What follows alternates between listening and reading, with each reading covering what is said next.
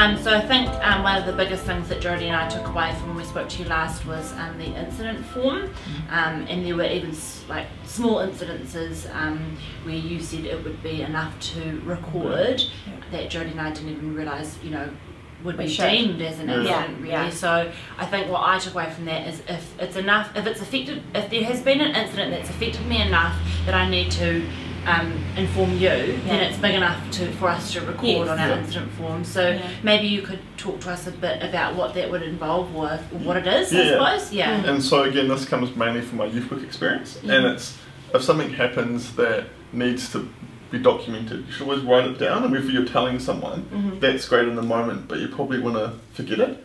And if you don't document it as well, you can actually hold on to that internally. Right. So when we spoke, there was stuff that was sitting with you historically. but Yeah. that obviously, it's important because you Yeah. still remember it, Yes. and it Yeah. hadn't been Work put through. down, worked through. There's been no Release. release. Yeah. yeah. I agree. Yeah, And it was definitely a moment of realization when we were speaking to Josh and we thought mm. of all these situations that we just thought, hey, that wasn't right, but never Yeah. did anything with. Yes. Just felt upset or offended or whatever, you know. And again, we are next to a bottle store. Yeah. yeah. and we, we just, you know, it just kind of was like a little flood of, uh, like a, just a, an eye opening moment of, Mm. oh wow, there's been quite a few situations that I really should have written down. And it's also as a record, isn't it? Because if something else happens somewhere else, or later on, you Mm. actually have that as a record. Yeah. Yeah, and the good thing about it as well is if you do it just after the fact, Mhm. it's still fresh in your mind. It's a chance for you to sit down. Yeah. So you actually have to remove yourself from what you were previously doing Right. for a few minutes at least. Have your water, fill out your form, Yeah. and just understand what's just taken place. Right. Yeah. You know, it might not fully feel great, but at least Yeah. you've understood it. Yes. You put it on paper, it's there. Yeah. And the good thing about that is if there becomes a reoccurring pattern Mm. of similar stuff happening, Yeah. Mm. or similar people, or similar times of day, Yeah. then you've got that documented. Right. and you can review that stuff Yes. and put things in place to prevent Yeah. further stuff from happening. And actually, that was one thing that really stuck in my mind as well was that um, you said that if something happened um, whilst you had a client here, Yeah. that you should even include who the client was that was here whilst that happened, Mm. because it could be a complete coincidence that the next time an incident occurs, that that same person is there. Mm. Yeah. And you know, you don't remember these things, and it's No. like, how many times has that person? There's only ever been three incidences that you know has have happened, but it's been the same client, or Mm. it's been you know In- the same the client surroundings twice. of the same yes, client. yeah. You know, and how does that client feel as well? So Mm. it's sort of important for your business as well, really. Yeah. Definitely, To and know it's- what's going on around. And acknowledging if you see a pattern of the stuff in your incidences, actually acknowledging with those clients when Mm. they next come in, I apologise it's been happening. We, we, we Yeah. recognise that there's been multiple occurrences when something's taken place. Yeah. And this isn't okay. Mm. And this is what we're proactively doing to try and prevent this in the future. Yeah. And that's, Yeah. you know, actually letting them know you're doing stuff Mm. rather than it's just, oh my god, every time I go there, so Yeah, and so does something this, happens. and something happens, and it's a palaver, and I feel Mm. really uncomfortable. Mm. I mean, it's probably unlikely, but you don't know until you record it, do you? No. That's true. Yeah. Yeah. That is true. And, and from my youth work stuff, it was a huge learning tool for myself Mm. to better reflect on what I was doing that was leading to negative stuff happening, Mm. or what I wasn't doing to prevent it. And just learning that when it comes to situations, you're a lot more relaxed Mm. because you know from your learnings that Yeah. A, B, or C could happen in this environment, Yeah. and this has happened. So what have I learned to do best? Yeah. Yeah, and it's that learning over time Yeah. that gives a better service, makes people feel more comfortable, Yeah. it makes you feel more relaxed Mm. because you're more confident in yourself. And not only just confidence as in, yeah, I feel really good about this. Yeah. You know from experience you should be confident, Yeah. rather than that self-fulfilling prophet of, yes, I'm great, Yeah. but really you're not not equipped at all. Right. Yeah. Yeah. yeah. There is, you know, there is occasions where you're just like, I really don't feel right about that person wanting that therapy, eh? You know, like, and I think for me that's like, there's nothing you, c- I feel like there is nothing you can do about that. But you had mentioned, this is where this comes in, you'd mentioned that you can set up a form Yeah.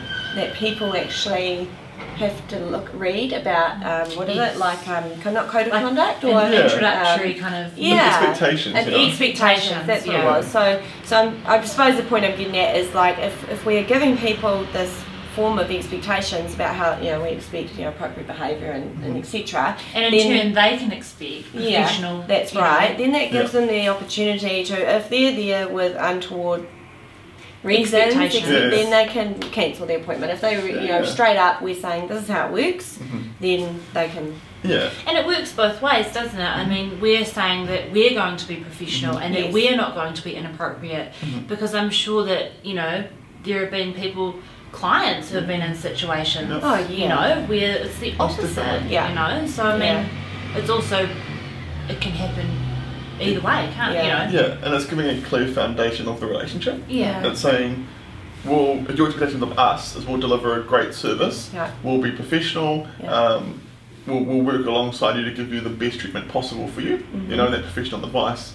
But also an expectation from us to you is that you won't be inappropriate, Yeah. you know, and you don't need to specify every inappropriate thing in the no. book. I think though as well having that information at the bottom of the sheet or just Mm. anywhere in particular also gives the client an opportunity to say, hey, you know, if a situation happens to them, hey look, you know, that's not okay. You know, it gives them the opportunity where they've Yeah. signed a form that says that they also expect to receive a particular treatment and Yes. particular professionalism. Yeah. And if they don't receive that or if they feel something's out of out of line then they can say, you know, well, Yeah.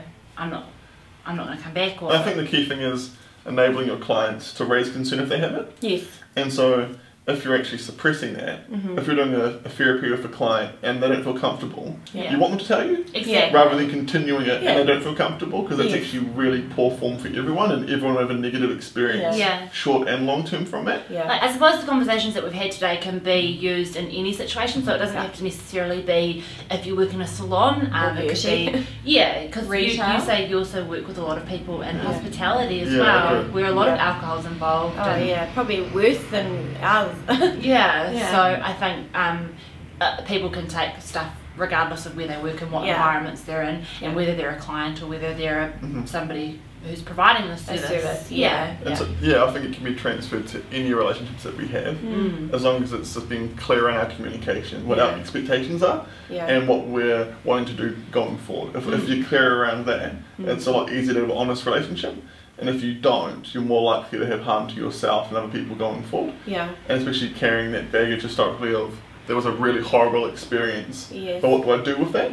It's, Yeah. it's common in any profession. you know, Right. And so it's yeah. having that time to have your reflective practice. Right. So filling out those incident forms, yeah. having a debrief with a colleague if Yes. need be, and then just seeing what you can do in the future to prevent it from happening again. Right. Yeah. Yeah, I agree. I mean, I, I think it was a big, a, a really, um, you know, huge point to take away was was actually reflecting, taking Yeah. the time to reflect. Uh, Yeah, and I mean, incidents can happen so far, few and far between Mhm. that, Mm. you know, um, ha- having something as simple as a form to fill out, you never forget to do that. I think that's everything that we wanted to cover in the video today. Um, and I hope that um, if you're watching this, you've gotten something from this that you can take forward with you and it helps you out. And I want to thank Josh for coming in and discussing it with us. Um, he made us feel a lot better about how we should deal with these situations. And because of that, I asked Josh to come in and film with us because I wanted to share that um, and, you know, with you guys. And I thought that that would be just something you all could get something out of, you know, regardless of where you're at at the moment, where you work, etc. Yeah, so thank you for coming, Thank Yeah, you. we really sharing your appreciate wisdom. Pearls of wisdom. Yeah, fantastic. Anything and anything else? That's it. We're good. That's good. We're good. And don't forget to see Josh on his uh, waxing montage. he did really well. He featured on that. yeah, he laughed a lot. Cool. okay. Thank you. Bye. Bye.